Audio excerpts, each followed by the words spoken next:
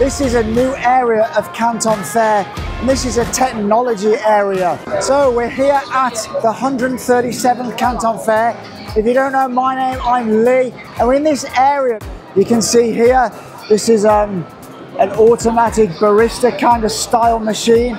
And then uh, there's a, a, company I noticed when we came in, Unitree, and they're very into the latest humanoid robots. This is a drone release uh, pod, so you can uh, have drones uh, remotely launched from anywhere you like.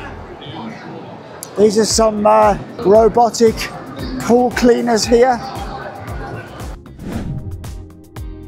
Okay, so uh, here we have one of the, uh, the walkers.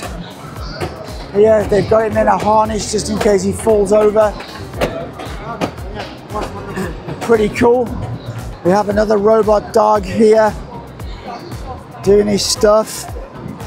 These are these robot dogs are being in, used increasingly more now in um, China in industrial applications.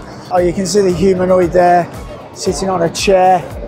Uh, and these are right at the front, forefront of, of Chinese technology. China are really, really innovating in this uh, humanoid and quadra, quadruped robot space right at the moment.